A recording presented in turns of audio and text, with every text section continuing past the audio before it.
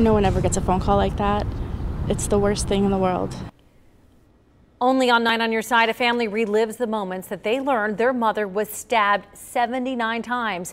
And it's Carlene Conley's daughter who's going to prison for the brutal murder. She was sentenced, in fact, last night. Now, today, Ashley Zilka spoke with Carlene's other daughters who tell a troubling story about their sister's past. Ashley? Craig and Tanya, Lara Conley was sentenced to 27 years in prison. To this day, her sisters don't know why she murdered their mother, but they say the killing was inevitable. She's an animal.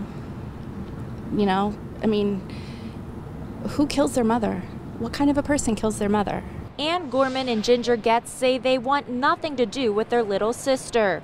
A jury deliberated for four hours late Thursday night before finding her guilty. It was a bit of a relief to know that what we knew in our hearts was true that she murdered her, even though my sister tried to say she didn't remember. Two years ago, Lara Page Conley stabbed their mother, Carlene Conley, 79 times on the kitchen floor in their Independence home. I can't even begin to tell you how sickening that feels. On the night of the murder, Conley called 911 and said there had been a home invasion.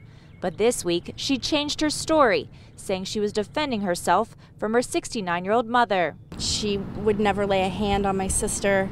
Um, so some of the things that they were saying were a little hurtful. And, and we want our mom to be remembered as the the great loving woman that she was. Getz says Lara had abused their mother in the past, even taking her to the hospital numerous times, but she never pressed charges. My mother didn't want to feel like she was abandoning her child.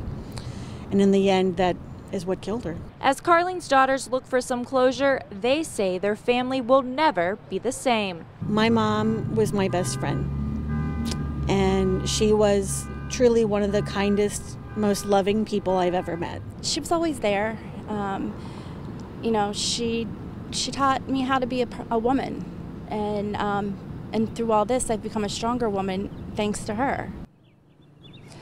Conley's sisters say during the trial, Lara didn't show any emotion or even any remorse, and that's what makes this situation even worse. Reporting live, Ashley Zilka, 9 on your side.